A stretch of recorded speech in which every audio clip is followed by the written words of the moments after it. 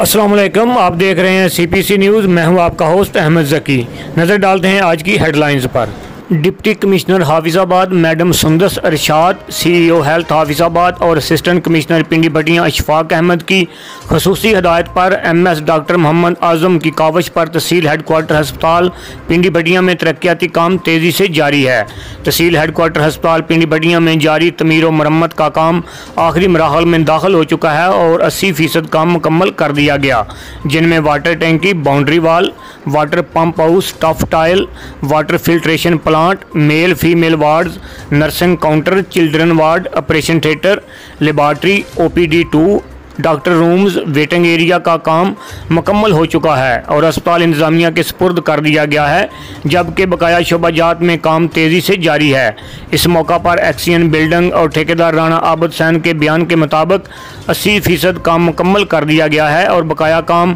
Funds کی بروقت دستیابی سے دسمبر دو ہزار چوبیس تک انشاءاللہ پایا تکمیل تک پہنچے گا۔ اس موقع پر M S doctor Muhammad Azam نے کہا کہ ٹی ایچ کیو ہسپتال پنڈی بٹیاں میں جدید طرز کی سہولیات کو ممکن بنانے کے لیے کوشش کر رہے ہیں، تاکہ ہسپتال میں آنے والے مریضوں کو بہتر سے بہتر طبی سہولیات فراہم کی جا سکیں۔